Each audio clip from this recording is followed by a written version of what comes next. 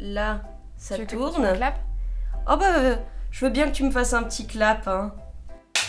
Est-ce qu'on n'est pas en train de s'improviser une petite interview? On est complètement en train de s'improviser, mais en même temps, tout se goupille euh, parfaitement comme sur des roulettes. C'est ça, j'étais de passage à Lille, on a bu Exactement. un café, grâce à un de mes abonnés qui m'a dit mais tu es avec Sophie Rich, si tu faisais un cinéphilon avec elle, bah... Et voilà. Et il se trouve que j'ai vu quelques films dans ma vie.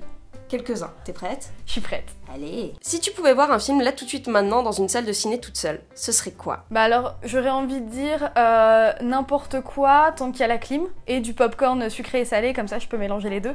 Mais en vrai, euh, je sais que là, en ce moment, depuis quelques jours, j'ai hyper envie de revoir Celeste and Jessie Forever, que j'ai pas vu depuis super longtemps et qui est un de mes films préférés. C'est un film avec euh, Andy. Ah, à chaque fois je confonds Adam Sandler et Andy Sandberg. C'est Andy Sandberg.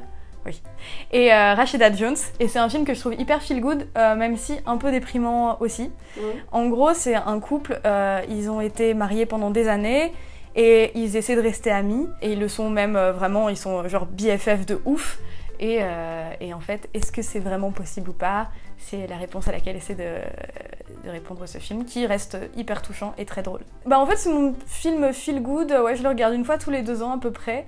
Euh, parce que bah, j'adore Andy Samberg, j'adore Rashida Jones, je les trouve très drôles, euh, je trouve que c'est hyper bien joué et j'adore vraiment euh, ce genre de courant hyper à la fois potache et hyper émouvant avec des vraies histoires de gens qui s'aiment et des enfin il y a un truc euh, hyper profond et en même temps très léger et c'est le genre de film que j'ai envie de réaliser. Donc euh, voilà quand il fait beau et chaud euh, j'ai envie de regarder des trucs qui me mettent bien.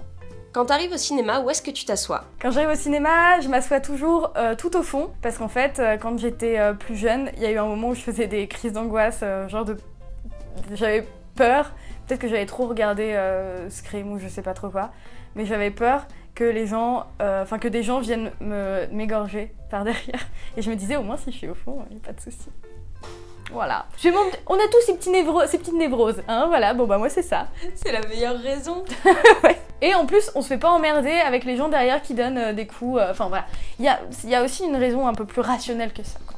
Moi j'avais fait ça aussi, j'étais allée voir un film d'horreur, c'était Mirrors. Et le truc c'est que j'étais au fond de la salle par la même peur que toi, sauf que s'appelle Mirrors. Et au fond de la salle, il y avait des vitres, Ouais, il y avait des miroirs. Et je me retourne, je vois, le, je vois mon reflet dans le miroir et j'ai hurlé, mais de peur. Je suis partie en courant. Ouais, normal. Alors je suis désolée, ça va bouger dans tous les sens. Cette interview est tellement improvisée. De toute façon, on fait les choses euh, à la one again et beast to fly, hein, comme on dit. Oh, oh là là Ça remonte, hein Oh, Je comme plus les jeunes. Là, direct, en sortant, tu croises Alain Chabat. Et il veut faire un film avec toi. Ça raconterait quoi? Euh, Moi, je voudrais un truc, euh, peut-être un truc historique, genre en tenue d'époque. Donc euh, j'hésite entre les années 60 ou alors un truc vraiment genre type Renaissance ou Moyen Âge. Un truc qui changerait de ouf avec la patte Chabat, l'humour Chabat. Et moi, je jouerais le rôle d'une meuf qui essaie de se libérer des carcans de la société, mais sans oublier, n'est-ce pas, de faire marrer les gens et d'être un boulet parfois À base de prout. à base de prout. À base de prout et puis de comiques de situation, à base de euh, maladresse légendaire, à base de, euh, euh, de euh, maladresse sociale aussi. Euh, Ça, ça me- ça, je saurais jouer facilement, il n'y a pas de problème. Alain, pense à moi Comme je t'aime. et tu me délivreras.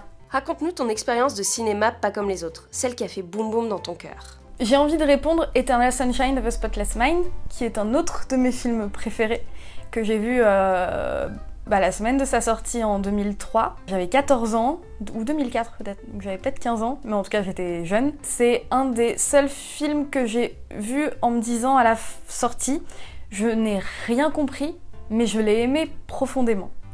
Et donc au fur et à mesure des années, j'ai pas arrêté de le revoir.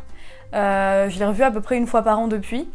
Et c'est marrant de voir, euh, de comprendre un peu plus au fur et à mesure, ne serait-ce que par les indices euh, en termes de, changement de couleur, les trucs comme ça, enfin, euh, changement de couleur de cheveux qui sont des indices temporels, euh, blablabla. Et aussi, bah, émotionnellement, en fait, en grandissant, j'ai plus du tout la même vision du film. Et là où ça me paraissait complètement type science-fiction, machin, le, pitch de départ, d'un coup ça devient beaucoup plus concret et, plus, ouais, tu comprends en fait. Donc c'est euh, vraiment le film où, en sortant, je, chialais, enfin, j'avais un peu les larmes aux yeux, j'étais hyper touchée et j'avais le cœur qui s'emballait sans trop comprendre, un peu comme quand on tombe amoureux, un peu comme un coup de foudre avec, euh, avec quelqu'un, quoi, qu'on connaît pas et on comprend pas trop pourquoi on a un, crush sur lui. Et bah là, c'était pareil. C'est euh, Eternal ça a été mon crush, et sauf que maintenant, ça fait euh, presque 20 ans de vie de couple. Et ça se passe toujours aussi bien. Ça se passe toujours merveilleusement. Notre, notre relation évolue, elle est moins passionnelle et plus, euh, plus tendre. Et tu comprends le film maintenant ou pas du Et tout maintenant, je comprends grave le film, je comprends Ouais. tout le film. Si tu pouvais réaliser un film sur ta vie, ça raconterait quoi? Et attention, il y a forcément un placement de produit avec du Marwell. Ouh Très bien.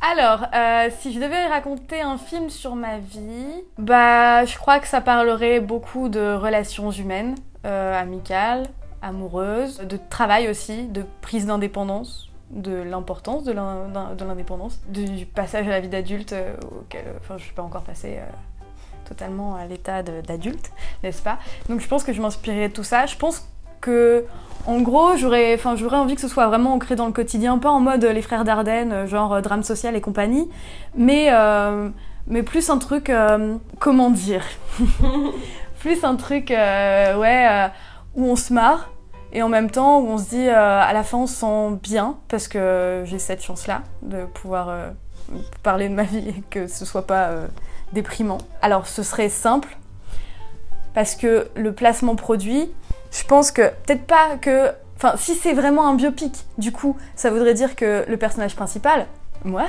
est youtubeur.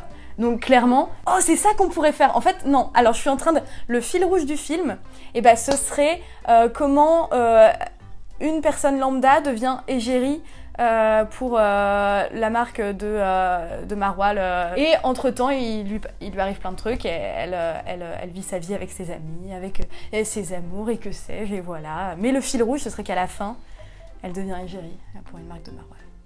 Et si c'était pas toi qui jouais ton rôle, tu voudrais que ce soit Bah, ce qui serait dom- euh, ce Oui. serait- Euh, J'aimerais bien quand même jouer le rôle, puisque, n'est-ce pas, euh, j'adore jouer. Mais exem- Mais- exemple, si c'est une super production avec une star américaine, euh, tu verrais qui dans ton rôle? Euh, bah, je pense que j'irai vers Emma Stone. Ah Bah oui. Parce que quand elle est Roukmout, elle est Roukmout, donc voilà. Euh, et puis elle a ce côté quand même hyper, euh, hyper détendu du slip où euh, vraiment je pourrais, je pourrais vraiment la voir égérie euh, dans Marwal. Ouf.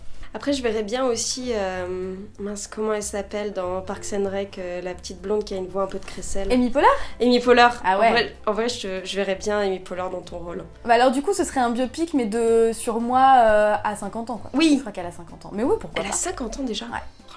Ah ouais ça, ce serait- ça pourrait être hyper intéressant de faire le premier biopic anticipatif. D'anticipation. Genre on imagine ma vie à 50 ans. Ah, J'aime bien. Avec Amy Poehler. avec Amy Poehler dans le rôle titre. Et ça s'appellerait Sophie riche en lactose. Dis-moi que tu y avais déjà pensé. non. C'est de l'impro. C'est de l'impro, c'est gratuit. Amusez-vous. Pitch-moi un film que tu as complètement inventé. Alors, c'est l'histoire euh, d'un chien. C'est un border collie. Mais en fait, lui, il a toujours rêvé d'être un cochon pour être euh, mangé euh, pour le repas de Thanksgiving. Et en fait, il se fait adopter par une famille de petits cochons dont la mère s'appelle euh, Cord. Euh, et en fait, euh, du coup, ils sont dans une ferme. Et euh, lui, il a un peu la place du roi, tout ça. Mais lui, vraiment, son rêve, c'est d'être bouffé. C'est clairement pas un film vegan. hein. Mais alors, justement, on y arrive. Parce que à la fin, à la fin, il y a toute une morale où en fait, il se rend compte que si il a absolument à ce point voulu être mangé, c'est parce qu'il était conditionné à se voir, euh, à voir les, petits cochons comme euh, des, des êtres inférieurs. Et que lui, en fait, il a pensé que la solution pour lui, pour rester proche euh, bah, des, des- des- gens plus inférieurs, considérés comme plus inférieurs, il a considéré que la, meilleure façon donc de, de- de- de- vivre sans, sans utiliser ces manières d'oppression. La syntaxe elle est pourrie, mais vous avez l'idée. Euh, en gros, il a pensé qu'il fallait qu'il se mette dans la peau des plus faibles pour être du côté des plus faibles. Et finalement, finalement, il décide d'utiliser sa posture, de, donc, euh, chien de compagnie, donc d'animal de compagnie, donc mieux vu que les animaux qui se mangent, pour militer. Il organise des manifestations avec tous les animaux de la ferme, animaux domestiques, animaux non de, enfin voilà, qui sont destinés soit à faire du lait, soit à être mangés. Et ils font des énormes manifestations pour œuvrer contre ça. Et du coup, la ferme devient une ferme pédagogique et plus personne n'est bouffé et plus personne n'est opprimé. Voilà, je vous ai raconté la fin par contre. Désolée. On n'a pas dit que c'était sans spoil, hein. C'est vrai. Et il s'appelle comment ton film? Alors, il s'appellerait. Ah oui, parce qu'il faut trouver un nom. Il s'appellerait euh, Brutus, euh, le petit euh, chien de berger devenu cochon. C'est plus long que Babe. C'est plus long que Babe. À une syllabe près, c'est pareil. Hein. C'est vrai. Je, veux voir ce film. Ah bah, faisons-le Franchement, il y a du chien, il y a du cochon. Exactement. Et il y a des retournements de situation, et il y a du militantisme. Eh, c'est important à notre époque. Hein. C'est important. 21e siècle, 21e siècle. Euh. Il y a des petites souris qui chantent parfois dans le bas de l'écran. Mais comme Babe, parce que là, on reste... C'est un film hommage, finalement. C'est vrai. Tu te rends compte quand même que le gars qui a fait Babe, c'est celui qui a fait Mad Max? Mais non Mais si Je te jure. C'est fou quand même. Et comme quoi, hein. Ça, vraiment, le gars, il touche à tout, quoi. Merci beaucoup, Sophie. Salut